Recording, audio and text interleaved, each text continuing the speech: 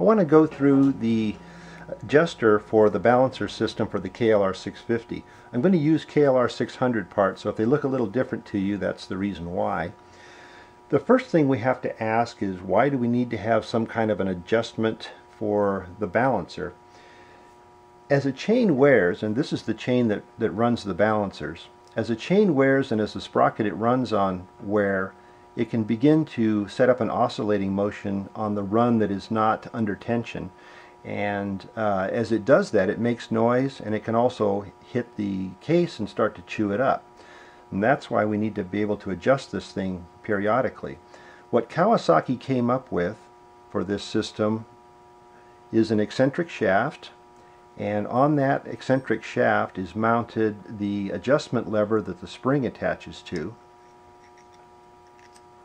and that goes through the uh, little case here. And on the other side is what we've come to know very affectionately as the doohickey. And that is the doohickey. The doohickey is held in place by this bolt. And this of course is the bolt that we loosen every time we do an oil change and allow that uh, adjustment to take place and then tighten it back up so I'm going to go ahead and assemble all of this and then we'll go through how it works.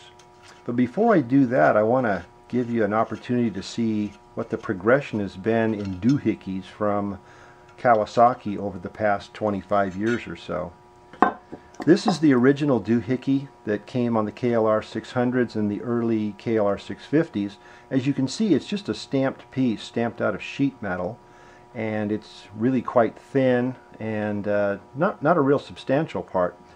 This is what they've come up with on the Gen 2s and as you can see it's much thicker and it's also an investment cast steel part so it's quite a bit sturdier than the uh, this original stamp part.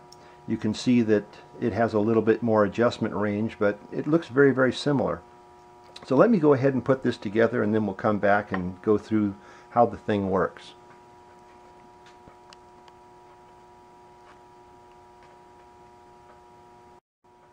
I've got the mechanism assembled into the case and this is about how it sits on the engine. On the back side you can see that the lever here to which the spring is supposed to be attached moves the eccentric in and out. This side of the eccentric is moving in this direction. With the idler gear mounted on that and the chain over it, as we move this lever back and forth, we're adding tension to this run of the chain. The spring will apply the proper amount of tension to get uh, the chain good and tight and once that's done we tighten the bolt on the other side and so what the doohickey really does is it holds the adjustment.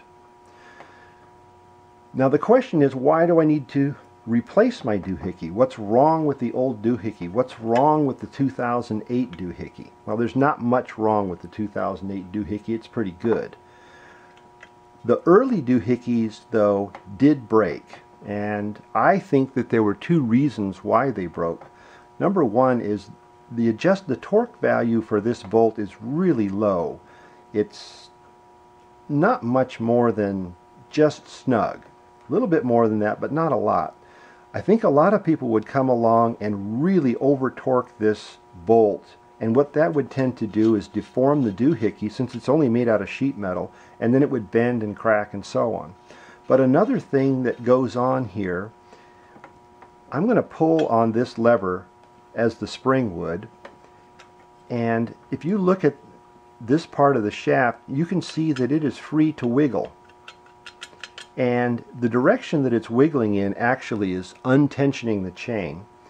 But it's and so since it's untensioning the chain it can sit there and vibrate.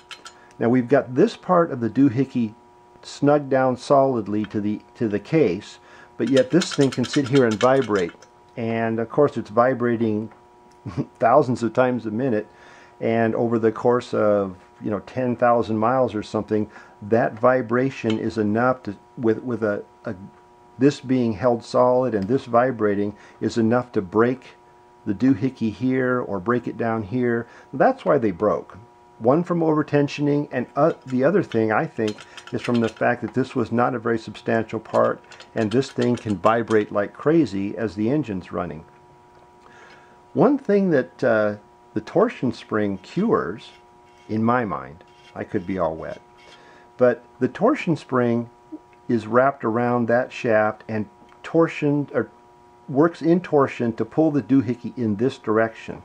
And when it's doing that, the only way the shaft can rotate is in a direction that actually tightens the chain. And obviously the chain will not tighten itself, so this tends to vibrate a lot less. The other thing is that the aftermarket uh, doohickey part is machined to considerably tighter tolerances than the factory parts and it just doesn't allow for that much vibration. That's why people say go ahead, put the torsion spring in and put the aftermarket doohickey in. It cures a couple of problems. Um, so that's really how all this stuff works and uh, hope you enjoyed that. Hope it was clear enough. Talk to you later.